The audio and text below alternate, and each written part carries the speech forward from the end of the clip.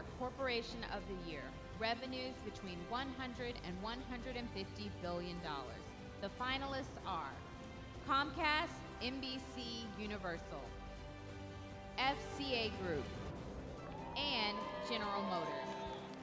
Announcing the winner is Stephen Hightower.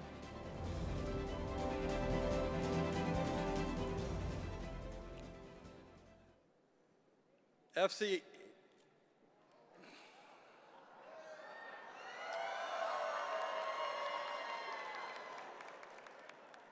You know when you have a teleprompter, it only tells you what you can see. So the winner of Class 4 is FCA Group.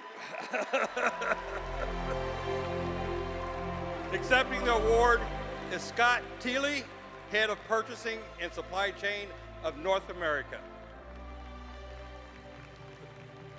FCA increased their spend by 18% over 2017, and in 2018, in conjunction with the Michigan MSDC, they initiated a collaborative growth initiative that engages a core group of corporate members to strategically grow a targeted group of MBEs that can meet the current and future supply chain needs.